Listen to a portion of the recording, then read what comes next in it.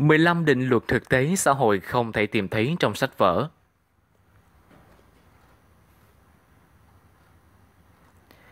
Cuộc sống rất có nhiều định luật được ghi chép rõ ràng trong sách vở, cũng có nhiều điều chưa từng được tổng kết thành văn, nhưng đã trở thành những định luật trong thực tế xã hội.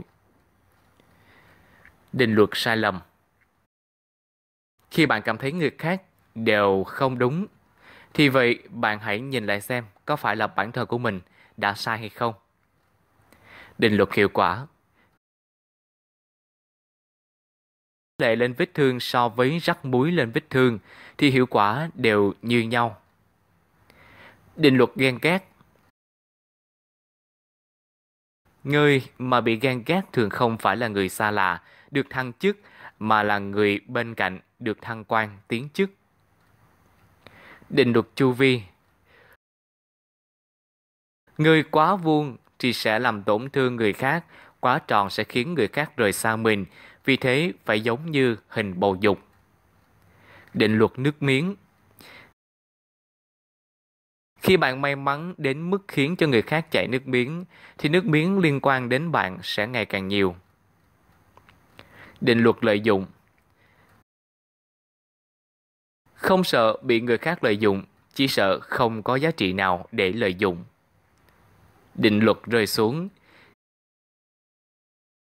Khi bạn từ trên trời rơi xuống đất thì phải cẩn thận, có thể trên mặt đất cũng có cái bẫy đang chờ đợi bạn. Định luật hàng ngày Sai lầm thường ngày lớn nhất của mọi người là đối với người lạ thì quá khách khí, còn đối với người thân thì quá khắc khe định luật đánh giá. Không cần tò mò quan tâm người khác đánh giá bạn như thế nào, mà hãy nghĩ xem bạn đánh giá họ như thế nào. Định luật thờ ơ. Người thờ ơ là người giả bộ rất giỏi. Định luật lời đồn. Lời đồn chính là chữ viết trên nước nhất định không dài lâu nhưng lại được truyền đi với tốc độ rất nhanh. Định luật sợ hãi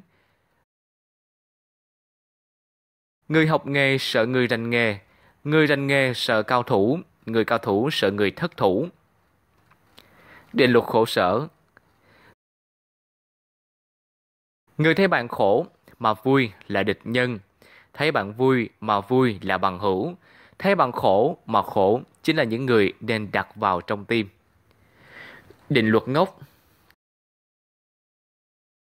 Coi người khác đều là ngốc thì nhất định là mình ngốc. Định luật mưa gió